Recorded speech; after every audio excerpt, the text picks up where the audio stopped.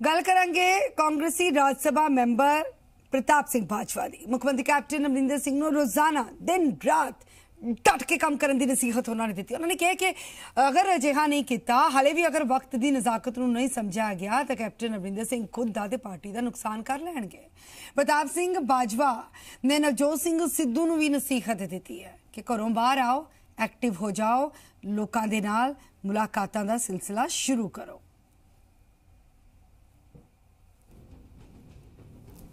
ਰਾਜ ਸਭਾ ਸੰਸਦ ਮੈਂਬਰ ਪ੍ਰਤਾਪ ਬਾਜਵਾ ਨੇ ਸੁਝਾਅ ਦਿੱਤਾ ਕਿ ਕਿਸਾਨਾਂ ਤੇ ਗਰੀਬਾਂ ਨੂੰ 3 ਰੁਪਏ ਪ੍ਰਤੀ ਯੂਨਿਟ ਦੀ ਦਰ ਨਾਲ ਸਸਤੀ ਬਿਜਲੀ ਦਿੱਤੀ ਜਾਵੇ ਤੇ ਨਾਲ ਹੀ ਸਾਬਕਾ ਬਾਦਲ ਸਰਕਾਰ ਦੇ ਰਾਜ ਵਿੱਚ ਹੋਏ ਮਹਿੰਗੇ ਬਿਜਲੀ ਸਮਝੌਤਿਆਂ ਨੂੰ ਰੱਦ ਕਰਨ ਦੀ ਵੀ ਮੰਗ ਕੀਤੀ ਗਈ ਹੈ। ਬਾਜਵਾ ਨੇ ਮੁੱਖ ਮੰਤਰੀ ਨੂੰ ਅਪੀਲ ਕੀਤੀ ਹੈ ਕਿ ਜੇਕਰ ਲੋਕਾਂ ਨਾਲ ਕੀਤੇ ਵਾਅਦੇ ਪੂਰੇ ਨਹੀਂ ਹੋਏ, ਤਾਂ 2022 ਵਿੱਚ ਕਾਂਗਰਸ ਦੀ ਕਿਸ਼ਤੀ ਨੂੰ ਪਾਰ ਲਗਾਉਣਾ ਮੁਸ਼ਕਿਲ ਹੋ ਜਾਊਗਾ।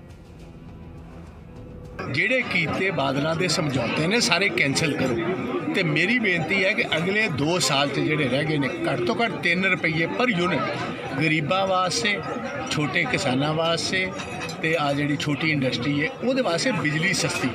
2 ਸਾਲ ਕੈਪਟਨ ਅਮਰਿੰਦਰ ਸਿੰਘ ਨੂੰ 24/7 365 ਦਿਨ ਕੰਮ ਕਰਨਾ ਪਏਗਾ। ਜੇ ਤੇ ਕਰ ਦੇਣਗੇ ਤੇ ਇਹ ਜਿਹੜੀ ਕਸ਼ਤੀ ਹੈ, ਕਿਸੇ ਪਾਰ ਲੱਗ ਸਕਦੀ ਪ੍ਰਤਾਪ ਸਿੰਘ ਬਾਜਵਾ ਨੇ ਨਵਜੋਤ ਸਿੰਘ ਸਿੱਧੂ ਨੂੰ ਵੀ ਘਰ ਤੋਂ ਬਾਹਰ ਨਿਕਲਣ ਦੀ ਨਸੀਹਤ ਦਿੱਤੀ ਹੈ। ਤਾਂ ਕਾਂਗਰਸ ਵਿਧਾਇਕ ਰਾਜਕੁਮਾਰ ਵੇਰਕਾ ਦਾਵਾ ਕਰ ਰਹੇ ਨੇ ਕਿ ਸਿੱਧੂ ਤੇ ਡੋਰੇ ਪਾਉਣ ਵਾਲਿਆਂ ਦੇ ਹੱਥ 'ਚ ਨਿਰਾਸ਼ਾ ਲੱਗੂਗੀ। ਸਿੱਧੂ ਕਾਂਗਰਸ ਵਿੱਚ ਹੀ ਰਹਿਣਗੇ।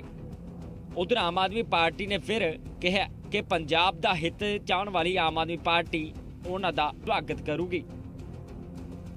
ਮੈਨੂੰ ਇਸ ਬਾਰੇ ਕੋਈ ਜਾਣਕਾਰੀ ਨਹੀਂ ਸਰ ਨਵਜੋਤ ਸਿੰਘ ਸਿੱਧੂ ਆਪਣੀ ਇੱਕ ਇੰਡੀਵਿਜੂਅਲ ਹੋਂਦ ਰੱਖਦੇ ਨੇ ਜਿਹੜਾ ਲੀਡਰ ਅੱਜ ਲੋਕਾਂ ਦੇ ਵਾਸਤੇ ਖਲੋਂਦਾ ਨਹੀਂ ਉਹਨਾਂ ਦੇ ਹੱਕ 'ਚ ਪਹਿਰਾ ਨਹੀਂ ਦਿੰਦਾ ਸ਼ਾਂਤ ਰਹਿੰਦਾ ਉਹ ਸਹੀ ਮਾਇਨੇ ਤੇ ਲੀਡਰ ਖਿਲਵਾਉਣ ਦੇ ਫਿਰ ਕਾਬਿਲ ਨਹੀਂ ਹੈ ਮੈਂ ਉਹਨੂੰ ਇਹ ਬੇਨਤੀ ਕਰਾਂਗੇ ਘਰ ਤੋਂ ਬਾਹਰ ਨਿਕਲਣਾ ਤੇ ਲੋਕਾਂ ਦੀ ਗੱਲ ਕਰ जहां तक बात नवजोत सिंह सिद्धू की है कभी बीजेपी वालों कह रहे हैं कि नवजोत सिंह सिद्धू हमारे पास आ सकता है। कभी आम आदमी पार्टी वाले ये बात कहने की कोशिश करते हैं कि वो हमारे पास आ रहा है। मैंने कई बार ये बातें कही है कि नवजोत सिंह सिद्धू कांग्रेस पार्टी में हैं।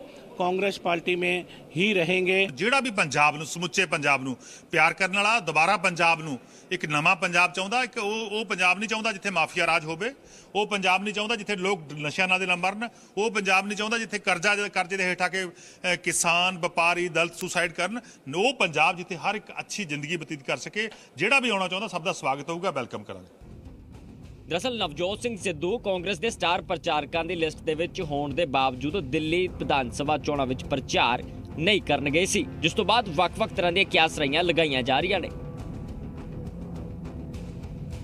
ਪਟਿਆਲਾ ਤੋਂ ਬਲਿੰਦਰ ਸਿੰਘ ਅਤੇ ਚੰਡੀਗੜ੍ਹ ਤੋਂ ਤਪਨੀ ਮਲਹੋਤਰਾ, ਜ਼ੀ ਮੀਡੀਆ।